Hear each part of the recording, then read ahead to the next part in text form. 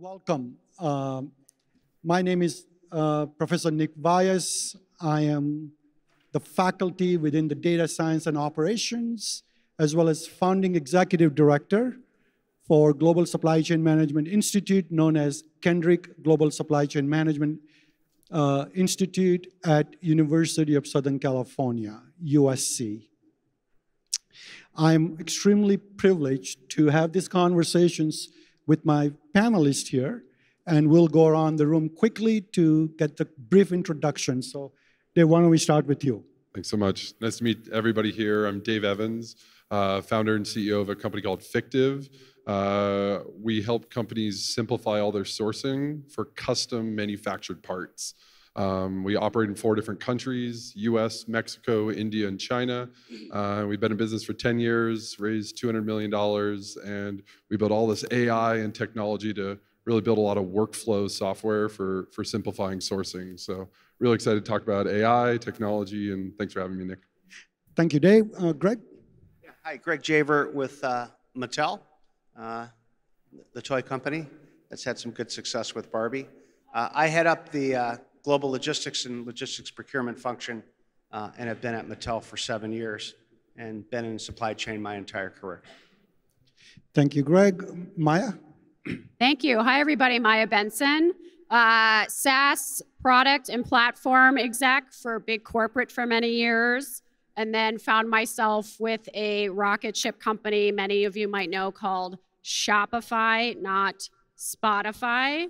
Uh, and I built all shipping and fulfillment for them as well as the Shop app. Any consumers in here using the Shop app? Just a quick raise of hands. Thank you so much for that. Um, and I switched to the other side of the table. I'm now an early stage uh, B2B SaaS investor, uh, generalist approach, but probably about 60 to 70% of my portfolio is in next gen e-com and logistics for obvious reasons. And just want to give a shout out. We've got at least six of our founders in this room today. Cool. Excellent. Excellent. By the way, Hot Wheels. Best thing when I was a kid. Loved Hot Wheels. Uh, my name is Mark Hansen. I'm with Sony. I'm actually with Sony Semiconductor. Most of you are going to look at it and go, why is a semiconductor guy here at the logistics and uh, manufacturing show? Uh, I work with a new group in Sony called AITRIOS, and AITRIOS is a platform for taking everything you can't see in your supply chain and turning it into data that you can use. And I'll explain more about it a little bit later, but really happy to be on this panel. Thank you so much, Mark. So, so what are we talking about today in this panel? Of course, we're going to talk about the data synthesizations, the AI, the visual, uh, the computer vision, but talk about the supply chain as a whole. So let's start with supply chain. And there was a world of supply chain before COVID, and there was a world of supply chain after COVID. So, Dave, why don't we start with you? Give us the sort of a pulse check on what has happened since COVID disruption. Well, we can do audience participation here, right? Yeah. Uh, how many people are in supply chain in the room? Okay, good. How many people feel like your life is easier today than it was four years ago? Yeah, that's what I thought. Okay, so we're definitely in a moment that it's a when moment, not an if. When is the next thing going to happen? When are we going to see the next disruption? What's the challenge we're going to have? You know, as we talk with all of our customers, our founding teams, executive teams, uh, budgets have never been more tight. The expectation of delivery and margin expansion has never been higher. And so supply chain leaders are left with, I need to do more with less. And then we have all this global risk on here. So I think what um, the last three years, and maybe go back like five, has really shown us in supply chain is that all the things that were possibly could go wrong have kind of shown their face. And I think that's created an immense challenge for all the leaders in the room. So I hope we can share at least some tips and tricks for how to improve that. Um, but I have a lot of empathy for all of you. So, Greg, let's talk about the empathy uh, you and Mark, even the Mark, you're on the semiconductor side from the retail standpoint. This was beyond the empathy. It was a brutal torture during the COVID disruptions, right? I mean, anything that could go wrong did go wrong. The structural deficiencies of four decades were exposed.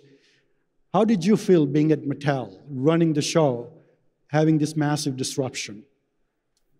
Yeah, I think, first of all, at Mattel, we were fortunate that our business grew like 29% during the pandemic, right? So, so you benefited. Some other, there was, yeah, we benefit from it, but uh, that that's a, a, tribute to the advanced teamwork uh, in supply chain. Uh, we also came out with a lot of gaps, right? I could talk about, you know, gaps in our, I call the circulatory system of uh, logistics on our inbound logistics. There were many gaps on information, uh, flows, inventory that were our all ahas, you know, during the pandemic that we're, we're, we're, we're now fixing. A lot of them, you know, we fixed uh, with some easy wins, but, you know, we're going to have fantastic end-to-end end-to-end visibility because you need that and you need to predict uh, when your inventory is going to be, be available for sale.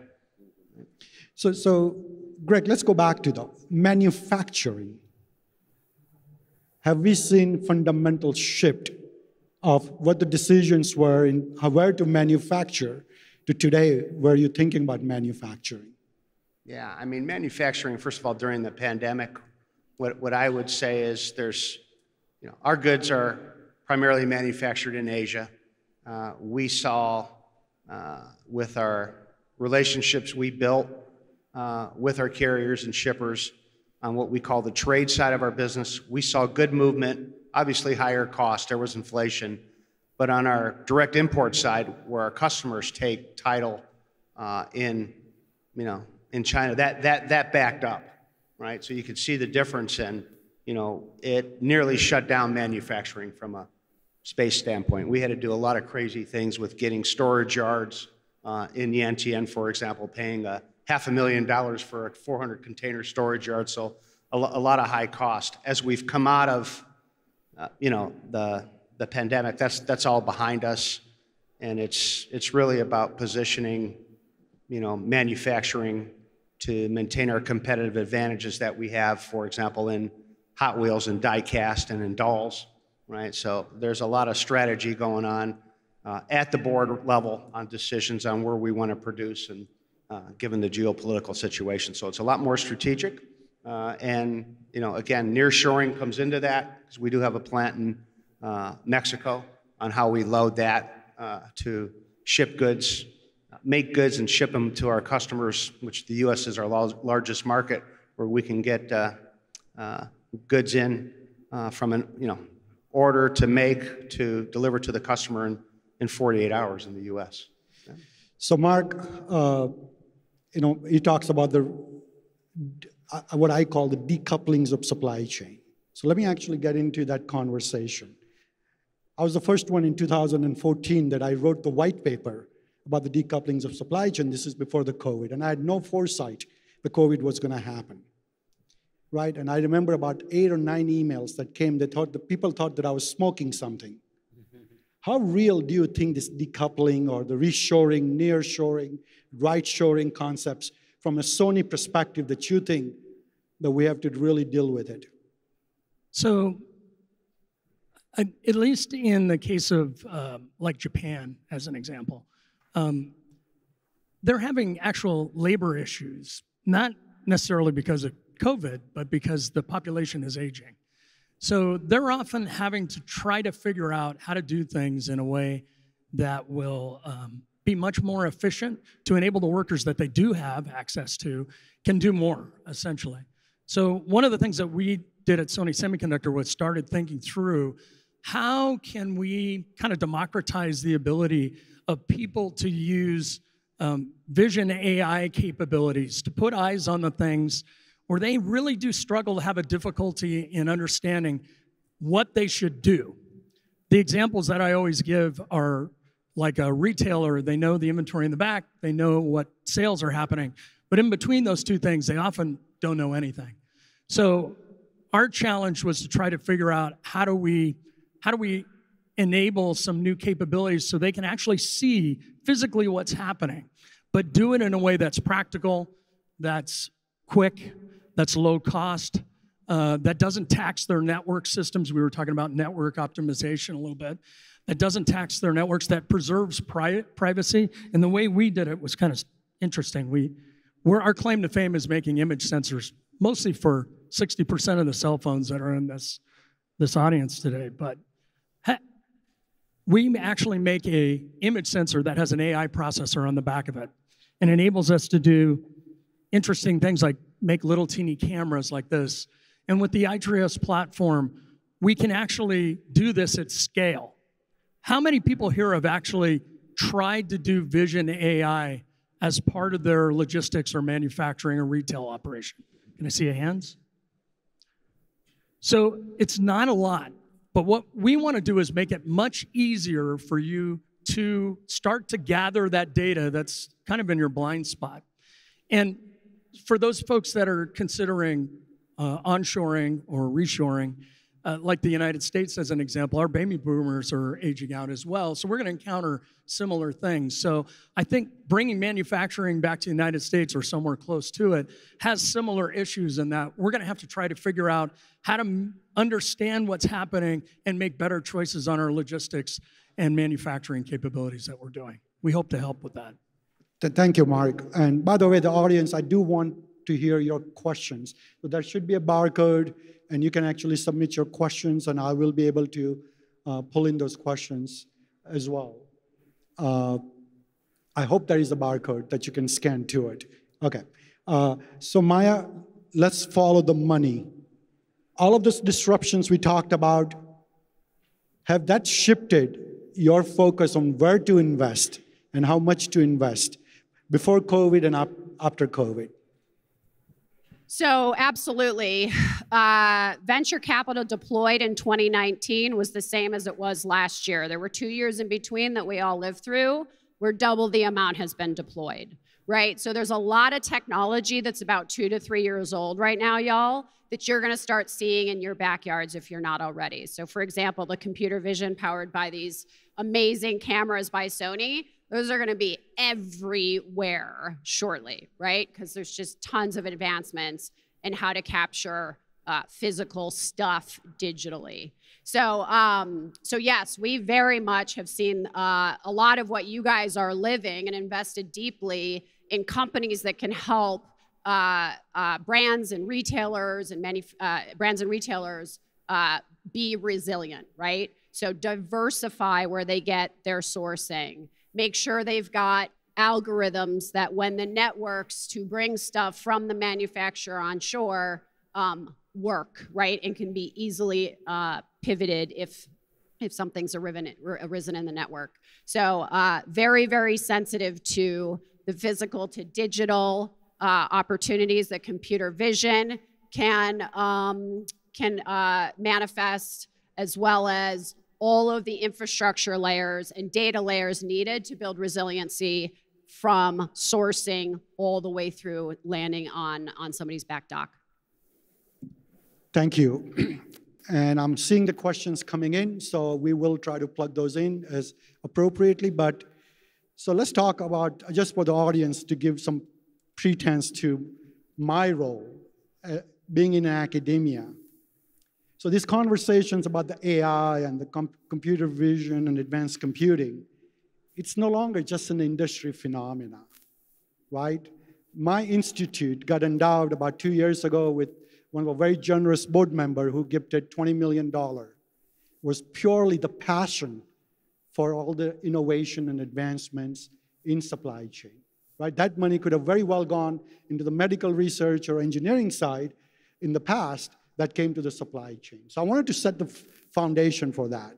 On top of it, at USC, uh, our president, President Folt, just announced we're creating a brand new school funded with a billion dollar with a capital B to start advanced computing school. This is where the application of AI, ML, and other advanced technology will cross the barriers of the traditional schools. So I'm from the business school, there is a medical school, there is a film school, there is a music school, there is a policy school. But how does the AI and all of this technology cut across the landscapes at the university? Now, when the research university, such as USC, takes a big investment approach into this, this is no longer a problem that is being solved by industry or the regulatory processes, but I wanted to highlight that academia is actually putting the money behind the mouth. So with that, let's start the conversation. Dave, you have a phenomenal startup. I would not call the startup. I think it's a decade-old concept that you've proven very well. Take us through the manufacturing, right? What is that new lens of technology evolution fits into your world?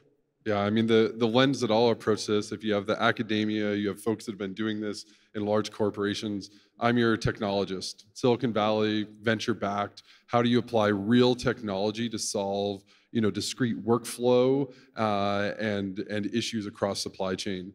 Our lens, if you rewind back to 2013, this was like Uber, Lyft, TaskRabbit, Airbnb, uh, WhatsApp. You know, these are the companies that are coming. No one was thinking about advancements in manufacturing or supply chain. It's a very different world, which you you know you heard in today's landscape for what venture capital looks like and technology specifically. Our, my approach as a technologist, uh, you know, leading this company, is that it's all about how do you apply the best type of automation in your company. And when we define automation, we think about human plus machine. And I think that's a really important thing to call out the difference here. Everyone wants to talk about AI, AI, AI. It's not going to replace the human in the loop. Supply chains are still too complex. Manufacturing is too complex. So, how do you build workflows where if it took 10 hours for an individual to do that in manufacturing, with AI, with automation, how can you do it in one hour? That's what we need to start tackling, not lights out automation. I think too much of that becomes vaporware, too much hype. It's maybe good for academic papers, but in my world, as a pragmatist, as a technologist, I want to make sure we're adding value today. And so what we've built over the 10 years is really this global supply chain.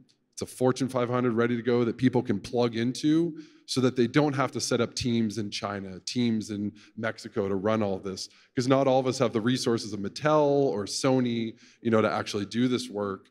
Um, but I think that when you talk about technology, I always want to talk about human in the loop. And I think that's really important as we answer some of these questions on AI today, is that we're talking about what are the real problems we're solving, what's the productivity gains, margin expansion, all of these, these things, Nick. So, so, so Dave, basically what you're saying is an augmented AI where human is still critical link in terms of embracing the technology. 100%. Just today we launched materials.ai. It's all to help engineers, procurement managers, supply chains choose better uh, materials that are available today. The job is not to replace application engineers or specialists. It's to give them this resource that you'd have to read a 90 page data sheet to get the same information. So I think that's a tangible example where you're not removing humans from it, you're giving all this leverage, you're giving all this productivity gains that happens. And you know, as we go through the panelists and we talk, you know, about what Greg and Mark are building, I think it's a very similar story across the board. Right. So I think uh, one of the question uh, the audience has, uh, do you see mathematical optimization and prescriptive analytics as a major part of the efficiency gains for the companies? So let me answer that from the academic standpoint. I, I heard just being here, the regenerative AI, the, uh, the term AI, I have probably heard about 100 times in last eight hours, right? That has become almost like a dot com in 2000, for those of you remember that everything that was there was dot com, right? You had a brilliant idea, you put dot com behind it, it was worth selling it. You had a stupidest idea and you put dot com behind it, it was still worth selling it. I feel like the AI, we're getting into that point. My perspective to that question from the academic standpoint, AI and ML, when you look at the model and algorithms behind it, it is purely the mathematical exercise and optimization. But I don't think as a practitioner, Greg, that you really care about that. You leave those to the data scientist and the programmer. How do you really use that in your business world and maximize opportunity for the optimization? If you do. Yeah, I, I think we're, we're, we're, we're just at, at the start, so I'll talk about that. But I'll, I, I will never lose sight of, you know, the goal, which is you know, I'll, I'll call it operational excellence, right? That's one of the things. And operational excellence is more than just doing things well, right? That's part of it. But the rest of it that I keep like preaching to my team is is about you know our role is to unite our organizations around our purpose, right? Around great processes and using great systems that are that are seamless, right? So that's you, you always want to keep that. So what Dave said about you know humans and machines and the interaction is is, is very important. Some of the and then I'll I'll talk in, in manufacturing. It's there's intense change, right? Whether it's AI, machine learning, your integrated processes. So, but what is the overarching thing with that? It's really all centered around the customer experience, right? At the end, that's the big, big change. So we're we're we're using that and using a lot, and starting with the customer experience, as I say with AI. So where does that lead to? Obviously, with uh, what you'd call, you know, your your uh, your voice recognition things, right? That we're we're using, and we're seeing about a a 10% productivity improvement uh, in our in, in, in, our customer operations with that. We're starting to use, uh, you know, that, that voice sensing. I'm not sure what it is that that if, if, if you see if the AI is seeing a different response from the from the customer, will prompt different questions to ask, right? So so we're, we're, learning on that. Uh, product development, you know, we're using Microsoft Copilot right? And you know, we're doing things around sounds uh, for our toys and games, uh, using that around the creative studio, uh, and then around uh, our documents, right? In the quality side, we're, we're, we're, using, I think it's, it's Google, it's Bard, right? And you know, we're, we're using that around our, you know, our speech recognition, right? Uh, smart vision systems that we talked about. Uh, and again, the customer operations. So that's what we've started with. We also have, you know, there, there's so much interest across all the regions that we've set up a, uh, you know, an AI governance board as part of our IT group to make sure we, we keep control and gain, you know, efficiencies and leverage across, across the regions, right? Not a bureaucratic thing. I think it's a good thing. Very good. So, so Mark, you talked about the one application in-store inventory management, the planogram versus actual inventory.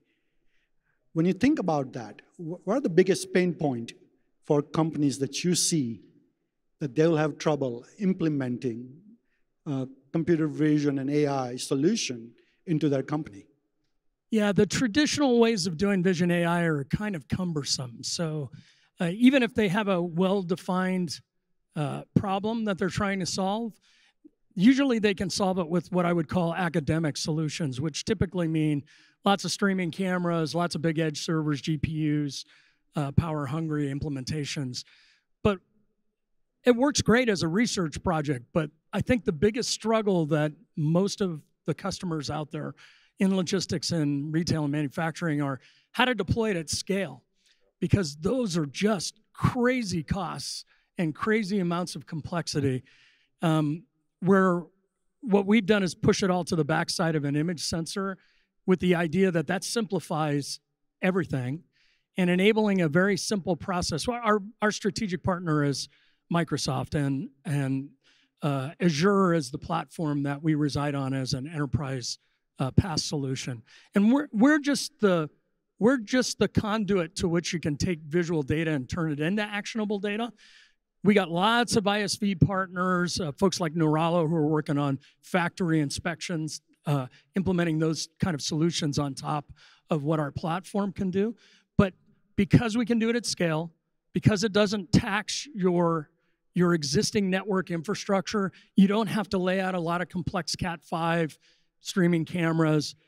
You know, our cameras use about 100 milliwatt on average.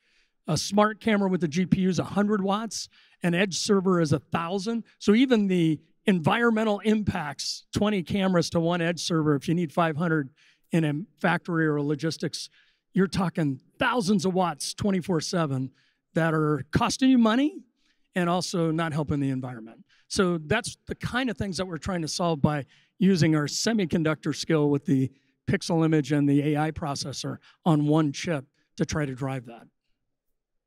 Th thank you. So Maya, let's get back into the world of investing. AI, I am sure you're probably getting a dozen pitch a day about new concepts coming up to you. How do you bifurcate noise from the signal, where to invest and where not to? So I think it's really important just to like, or we're living in a world right now where it feels like it's just AI. so I think at a first principles level, it's important to remind all of us AI and ML have been around for a long time, right? What's new is this democratization of the transformer models from OpenAI, LaMDA, Bard, et cetera. So just, I, think that's like an important comment. We've been in the AML, AI and ML investing business for a long time. Uh, it's generative that's really the amazing new um, technology on the block. Uh, kindly remind me what the specific, I had to get that out because we're living in a world where, remind me where you were. Yeah. So question, how do you make a decision oh, which signal, company to invest or yeah, not? Yeah. Understanding the noise. signal versus the noise. Yeah, so you guys probably all read or saw in like March of 2022 when uh, OpenAI hit the street, venture capital went crazy, right? And there was a ton of money deployed against um, really amazing founders building in this new generative space, but without a lot of conscious thought to a lot of the incumbents that own our eyeballs and um, software usage every day, building and leveraging this technology. So we kind of held back a little bit from that. And our thesis is really investing in uh, folks harnessing as their core business of generative AI. Another important first principle if you aren't leveraging Gen AI or have a plan to throughout your supply chain, come talk to me. That's that's that's radically going to change in all of our lives.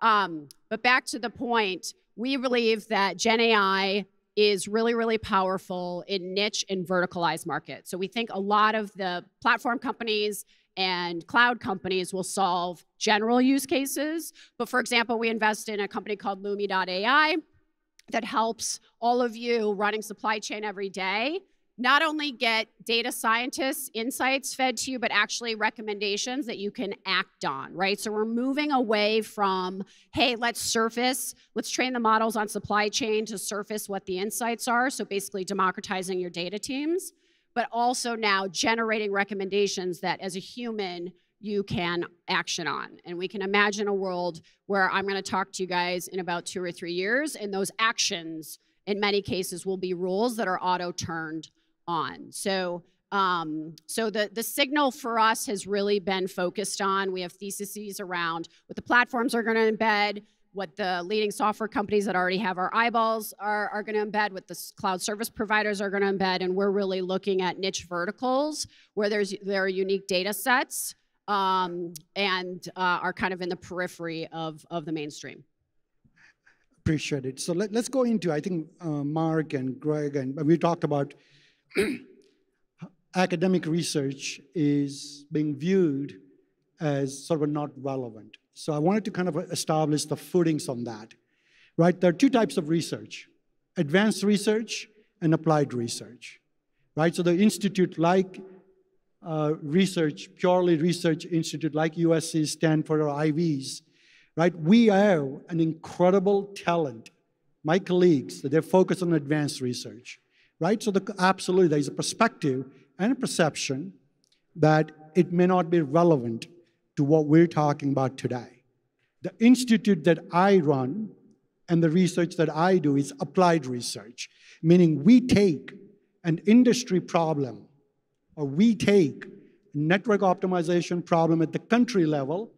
For example, so when I was part of the advisory committee with Department of Commerce under the White House, we take a big issue, and then we help apply the solutions through the research. So I wanted to make sure that universities here or anybody from university, they're not thrown under the bus. So there are two different stream of uh, research that both are equally important.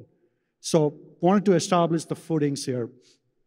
So with that being said, all of these great ideas that we talked about, Dave, let's start with you what is the build versus buy? Do I buy something that's ready to plug in, or do I actually go through and build out my network when we talk about the optimization? we were talking about this dinner last night with Greg and I. You know, for anyone that's undergone a large IT or back office transformation, you know, I think this is a big question. Um, the advice I always give is: Is it going to be core competency of your business, and is it going to differentiate? And so, if it's going to be core competency, you can probably start to make uh, an argument for building it internally. But if it's not going to be core competency of something that's going to differentiate your business, going to generate revenue, going to be a part of that, it's probably there are other people spending more money, more infrastructure to build a stronger solution. The example I always give in, in our world is is your supply chain, let's say the partners you work with for your manufacturing, is that going to differentiate your product? And if you look at all the parts that are on a bill of materials for the product you're building, which of them are actually like differentiators there a sensor that you buy you know a camera system and which of them actually complete the product. In these cases a buy versus build you know is a great case to say do i need to own this and its core strategy or is it something that it's another company's core strategy? Um, in our world our core strategy is running a global network of manufacturing partners and all over in four different regions and I think there are very few supply chains that would invest the amount of time, money, energy to build the technology that we have.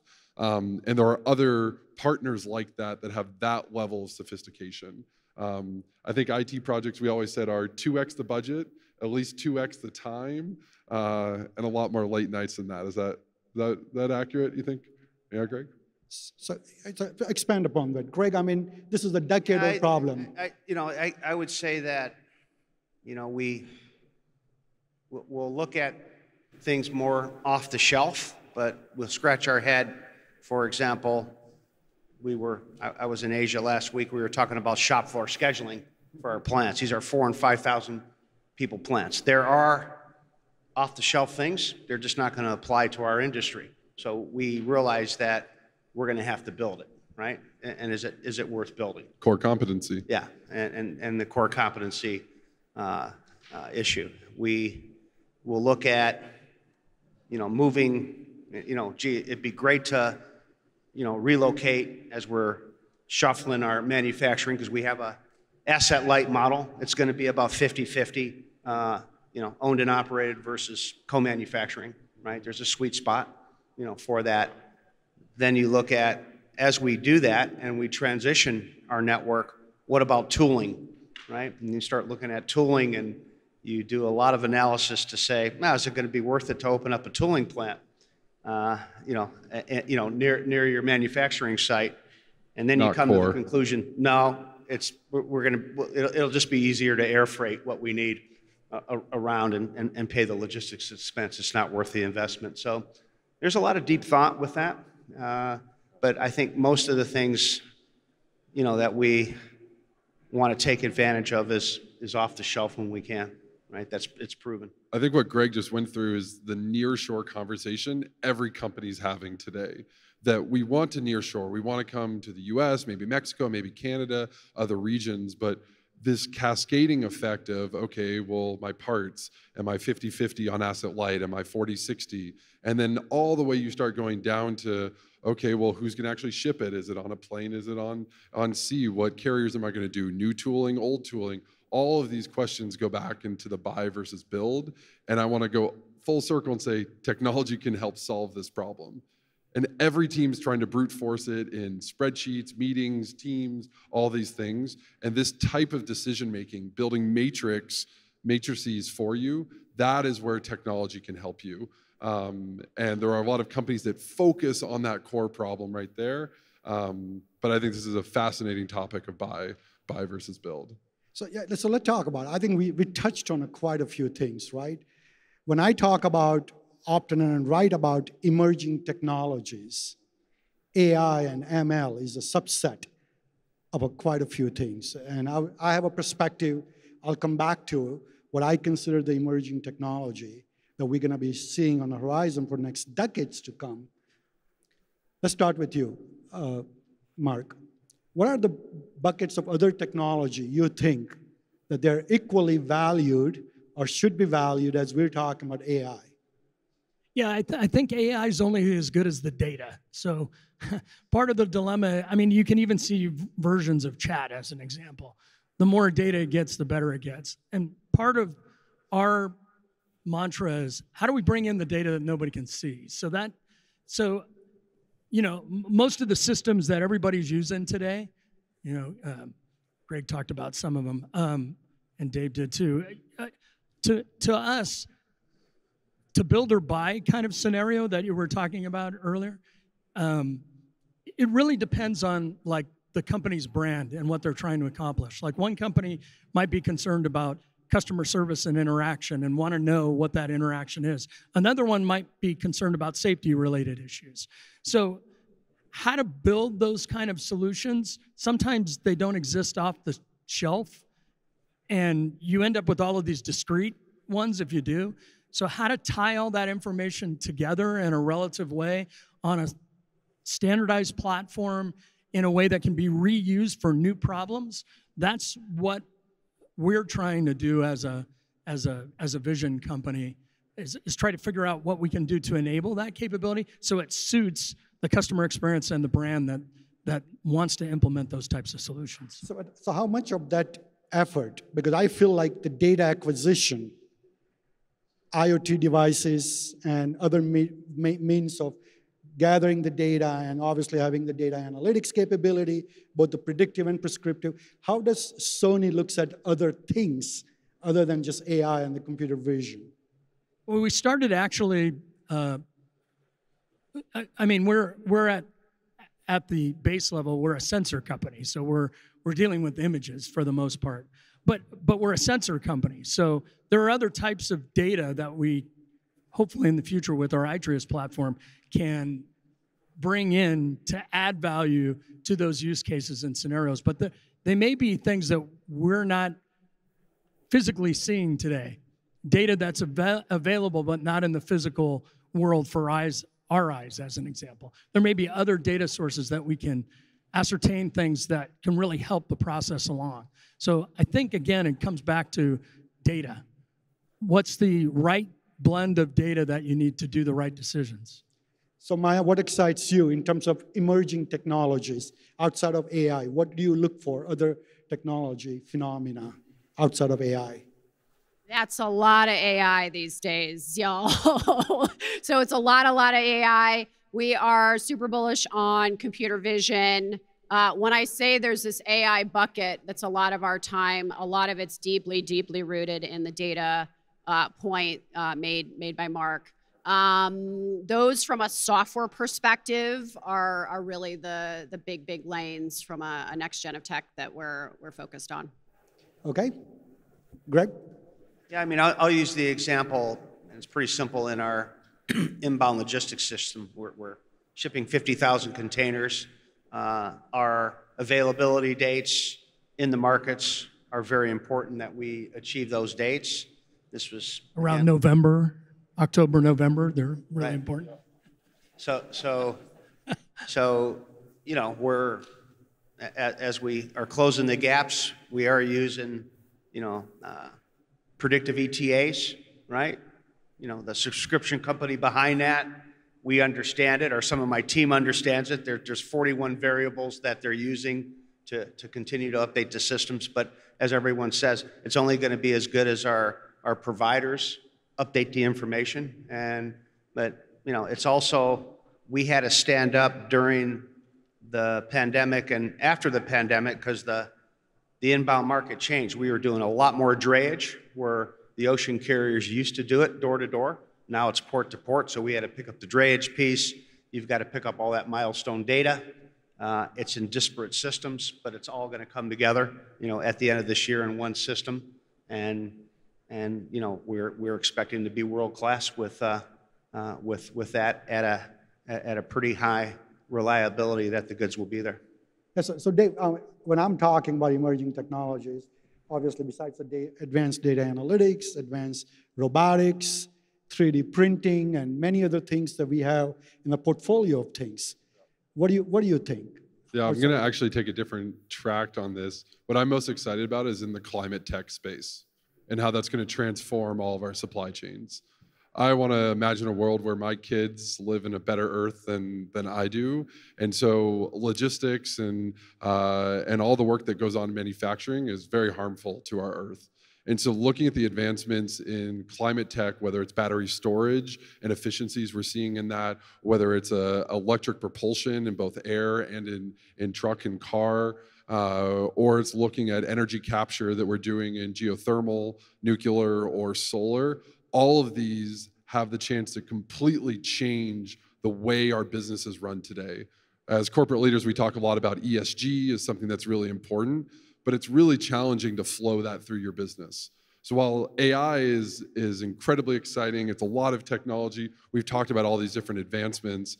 I think uh, the call to arms I take to everyone in the room is how can sustainability and the work that's being done in climate tech affect your business as much, if not more, than what AI is doing. Uh, we've made a lot of lot of commitments on our side around carbon neutral shipping, working with partners, thinking about this, but we're not doing enough on this front. And so I think technology has a big role to play here, and and uh, I'm really excited uh, about this next chapter. Oh, brilliant! I think you set me up pretty well. Thank you. By the way, this was not a pre-stage conversation, but so I just came off the road trip, four weeks, right? I was in D.C then went on to the Asia. I spent about two weeks into India. Traceability and sustainability was more talked about, more so than even AI. So let me qualify that statement. There's about 387 regulations that are coming about globally, primarily driven by EU, right? And then followed by us uh, at home. These are not the regulation as an advisory that please do this. These are consequential regulation that will force and mandate the traceability, meaning having a carbon footprint calculated at the unit level. I talked to the business leader over the last four weeks. I didn't see anyone is even prepared to have a conversation, far less to talk about being compliant right? Why do I talk about it? Because you look at it today in the space of traceability, only 6% of the publicly traded company will be compliant by 2027 regulatory requirement. Let's start with Mattel. Yeah, so we, we actually, in my weekly staff meeting, this, this came up uh, this morning, uh, and our, our quality leader, my counterparts leading a pretty big initiative on this for the EU, and, and my direct report talked about, you know, digital passport uh, this morning. Uh, and there is a lot of work ahead of us, but he's, he's, he's on it with his team, and we will be compliant to the, uh, to, to, the, to, to, the regulations and specs. And, you know, that, that's one of the things about, again, back to purpose and culture, right? That's behind what, you know, part of what Mattel stands for. Uh, also, ESG, we have a 2030 citizenships report. So I'm going to say we're not perfect, but we're going to do things that make sense in ESG. Uh, and, you know, a lot of that is around, you know, recyclable resins uh, that go in the, in the plastics into our toys that we're, we're thinking about and thinking about obviously the basic things, you know, a lot different in, in, in what we do in our uh, logistics and distribution network. You know, we, we, we had like five, you know, ESG initiatives to accomplish with about 15 actions. And, you know, every, every DC across the globe, all 38 got 12 out of the 15 nailed uh, in 2023, and we'll, we'll get the rest of them done this year. David, your Vault Fictiv, I mean, do you think you guys will be compliant by 2027? Well, I think you have to be. And I think it's actually about in a supply chain, it's more of a supply web, is what I always like to say. It's not links that are all connected. And so it's less about Fictiv and more how do you build a standard with your partners and your partners' partners? How do you go to where the raw material is sourced? How do you think about this? So, to your traceability, we can have traceabilities within our companies. We can control these walls. You know, Mattel's talking about this digital passports, understanding where all that information comes from, what the practices are this is work ahead of us. I would say there's not a, a clear roadmap on this, and this needs to be worked on, Nick. So, Mark, your approach from the semiconductor side of the Sony. Have you looked at this as a horizon scan of an opportunity, or you just kick the can down? Oh, definitely. In in in our just a small part of Sony, uh, the AITRIOS platform is really optimized to try to figure out how to not only lessen our impact on the environment based on power consumption, but also in things like logistics where we're trying to do better space utilization of trucking and consolidate freight consolidation and optimization in those ways because that reduces a lot of uh, and and helps the environment overall in those types of efforts. So not only does our platform speak to that, but also the solutions that we're building with it also work towards that effort. So Maya, we have a lot of entrepreneurs here and startup folks in this panel, I mean, in the audience.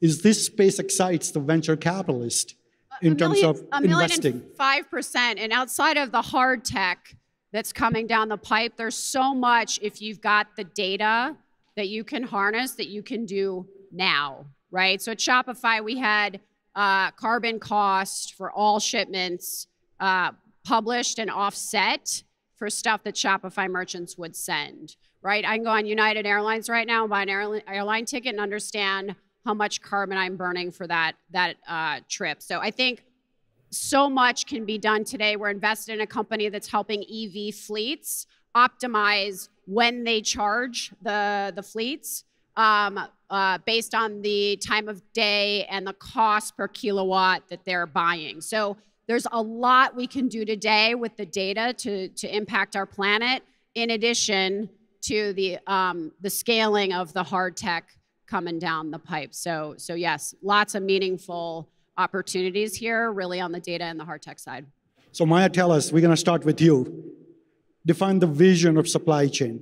2030, where will we be? One sentence. Where do you see us in 2030? Maya. Wow. Um, lots of agents optimizing your supply chain real time with optional human decision making at core inflection points. Excellent. Greg? I'm going to say an integrated end to end supply chain with increasing uh, direct to consumer. Very good. Mark? Yeah, I, I think I think having the um, core elements of uh, continual data flow between the start of the supply chain and the end, and being able to capture it and do something. I do have to say Maya's comment about the um, a generative uh, the the way humans will interact with that data and the way application developers will develop over time, I think will change radically. I think it'll be more user-centric requests and and of pulling the appropriate data to start those activities to make it more efficient. Very good. Dave, one sentence 2030 outlook. I'll give context in one sentence. Uh, we started Fictiv with this vision of how do you unlock the creative potential of all humans all over the world. And so when I think about 2030, I hope that in supply chains, each individual feels they're doing creative work that is inspiring and changing the world around them versus mundane rote tasks that they have to do today. All right, so here, here's my take in 2030, truly. I think the harnessing the future of technology is incredible. I think to Dave's point, if we do not really focus on human capital at the same time, the devastation we saw in this country when the outsourcing happened, leaving tens and thousands of and millions hardworking men and women on the Rust Belt with absolutely no skill.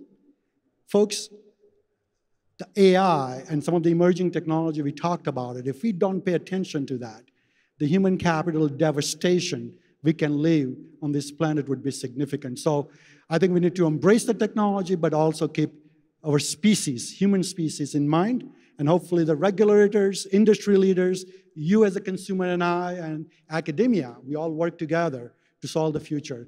Thank you very much, everyone. Appreciate it. Thanks, guys. Appreciate it. Thanks, my panelists. Thanks so much. Well done. Well done.